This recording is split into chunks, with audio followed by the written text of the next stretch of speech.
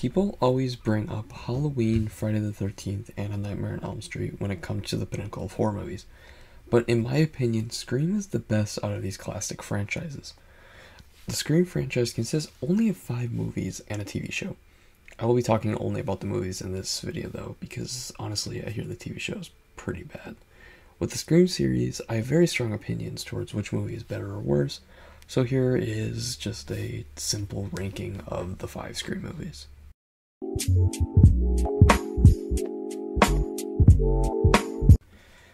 My least favorite movie of the Scream franchise is Scream 4. After watching Scream 2 and 3, I was very much looking forward to Scream 4 because it seems like the most interesting movie in the franchise since the original.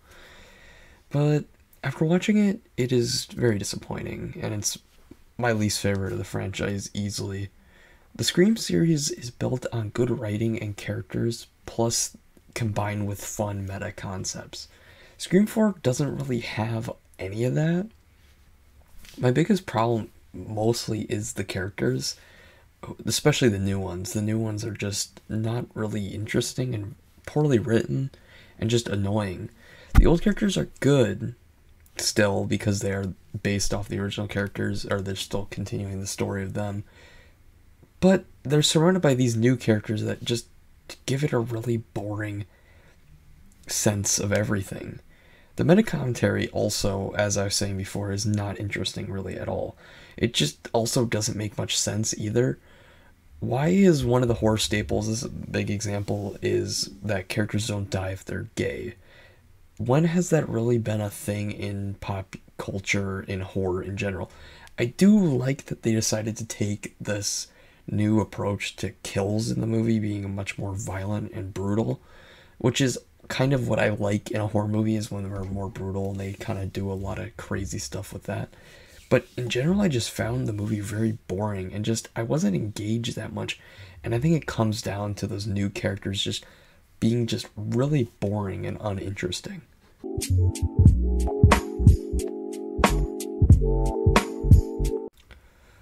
This placement might be controversial, but Scream 2 is my fourth number four pick in the franchise.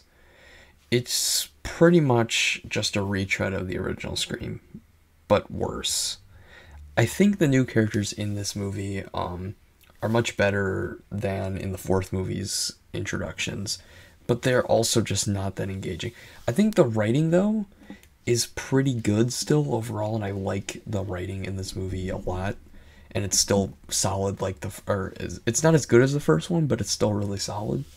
And i think the main cast uh, neve campbell and stuff like that is still great and their overall um, chemistry is great together.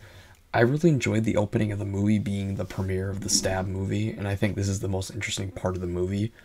I think also the overall experience though of the movie the moment to moment scenes is just a lot of fun and is a good time but the movie just suffers from in general being Scream, the first Scream, but just in college, which brings it down heavily compared to that first movie. I think the killer reveals at the end are great and definitely better than in Scream 3, which we'll get to. But the meta commentary, while solid enough, isn't nearly as good as that first movie. But it's still fun because Jamie Kennedy is still the one kind of bringing us through that and I think Scream 2 is when it's at its best, it's a fun roller coaster, and at its worst, it's just boring scenes that are taking place on a college campus.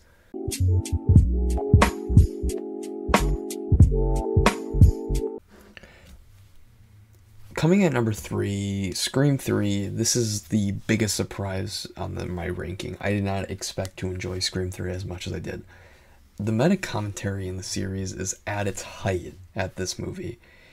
And I think the setting of the movie is a lot of fun and enjoyable, and that it focuses on Hollywood and stuff like that. I really like the plot of this idea that someone is trying to make their own Scream movie, or sorry, stab movie, um, and they're trying to kill people to create the movie. I really like that, and it's a fun concept. I think the new characters in this one are actually pretty good. I like that they're like fake versions of the char- main characters, like they're the actors, and I think they're well written in general. and the old cast is still good as ever. The movie is also in this really weird place because it features a lot of strange connections to Harvey Weinstein, Harvey Weinstein and his sexual crimes.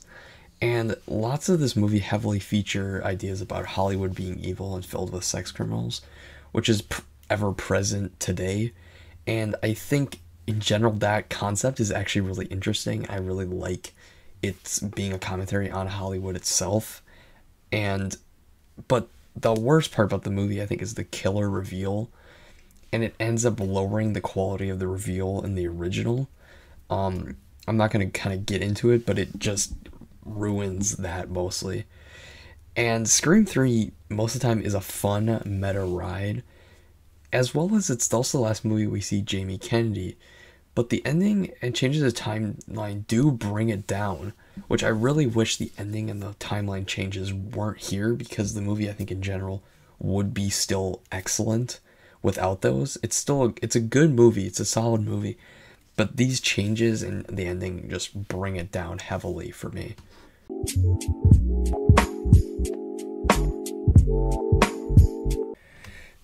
And number two, Scream 2022 is the best Scream movie since the original, mostly because of the director's radio silence. Understand what made that first Scream movie work an interesting meta concept and good characters. The new main characters in this movie are actually pretty solid, and by main characters, I mean Jenna Ortega and Melissa Barrera, who are really great additions to the series, and I'm excited to see them, I assume, return in Scream 6 when that comes out next year. The old characters are good, even though I wish they were in the movie a bit more. And Jack Quaid is great in the movie. I think I really like his character in the movie, and he's one of the most fun and great characters in the movie. He's just a great addition. I really like Jack Quaid a lot, especially in The Boys. He's really great. The kills in the movie are also really good. Something I haven't really talked about in the other previous movies, um, except for in Scream 4. But here, the kills are really good, and the effects are also really solid. Now, the worst part about this movie, I think, for me, is the newer characters that are like off to the side. They're not the main characters. They're just not very good. I think mostly because their performances aren't like amazing and the writing for them are just isn't up to par with everything else. I think the effects also are really good in the movie. The meta commentary is interesting and while isn't as fun as Scream 3 for me, it is still a good concept that works within this franchise and the movie itself. And like that original Scream movie, the first one, the final act of the movie is easily my favorite part and the killer reveal is the best one since the original. I think Scream 2022 is the first time in the series where they feel like they understood what the original Scream feels like and and were able to present it in a modern setting. The quality of the movie shows that Scream isn't dead and needs just the right people to work on it. Even though Wes Craven did the first four, I think Radio Silence actually can make really good stuff from this concept that they present in this one. And I really hope the Scream sequel, Scream 2, whatever they're going to call it, Scream 6, continues this trend of this higher quality. For the first time ever, it just works really, really well.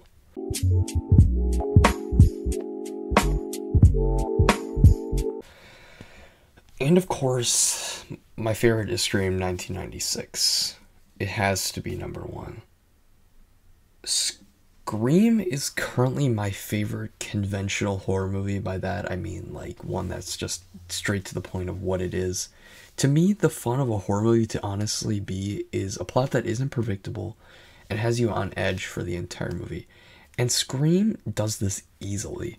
Scream is also just a fun time. The writing is particularly amazing and is what sells the movie more than you would expect. The opening is classic, intense as hell even on multiple viewings. The characters are funny and just enjoyable to see on screen. I haven't talked about the Ghostface costume really at all in this, but the Ghostface costume is excellent. I love its design and just overall being this just Halloween costume. Matthew Lillard, Skeet Ulrich, and Jamie Kennedy as side characters are great and give excellent performances to sell this movie even further. David Arquette gives his bet gives the best performance of the franchise in this movie, and Neve Campbell and Courteney Cox are great, just like all the other movies in the series.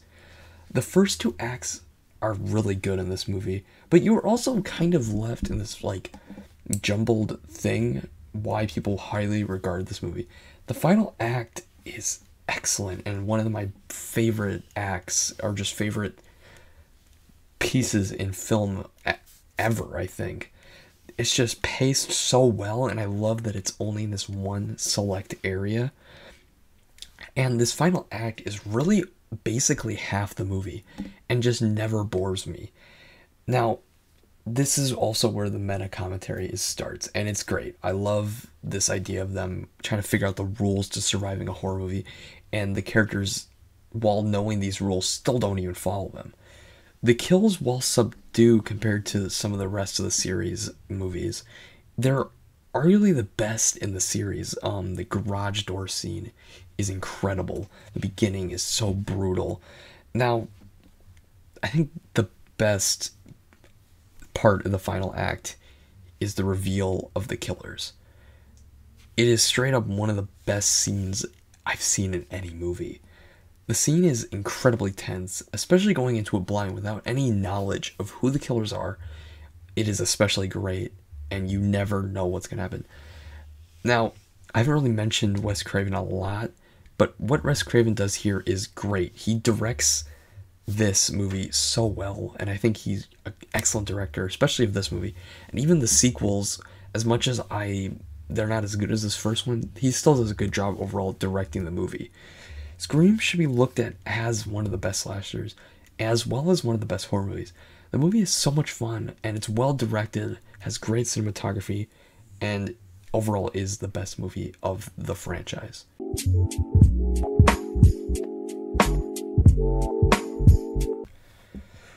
with Scream 6 on the way and the high quality of Scream 2022, I'm looking forward to what this franchise will do next.